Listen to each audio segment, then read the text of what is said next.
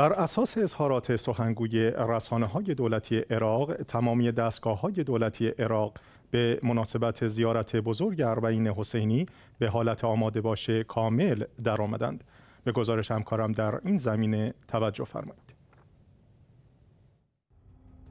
حیدر مجید سخنگوی رسانه های دولتی عراق روز سهشنبه تاکید کرد که تمامی نهادهای دولتی عراق به منظور اجرای موفقیت آمیز زیارت اربعین به حالت آماده باش درآمدند.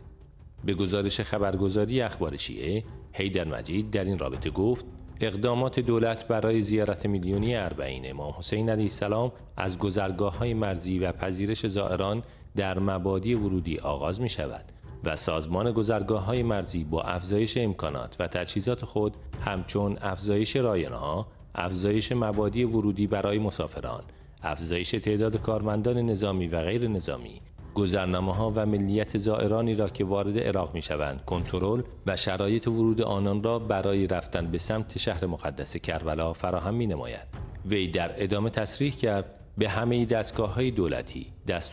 ها و هشدارهای لازم داده شده است. از جمله به وزارت برق دستور داده شده که تمام امکانات خود را برای تأمین برق مورد نیاز زائران به ویژه در کربلا و نجف فراهم کند و همچنین برای سایر استانها و شهرهایی که زائران در آنجا تردد دارند ساعات بیشتری برای تأمین برق اختصاص یابد.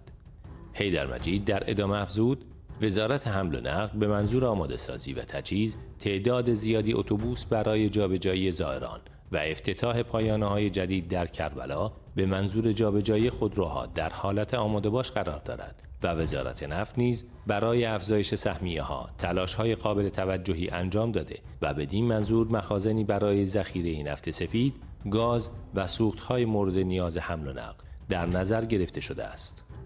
سخنگوی رسانه های دولتی تاکید کرد که سایر وزارتخانه ها نیز در تلاش هستند تا اقدام های لازم را برای ارائه بهترین خدمات به زائران از داخل و خارج از عراق انجام داده و تمامی امکانات خیش را در این مسیر به کار گیرند.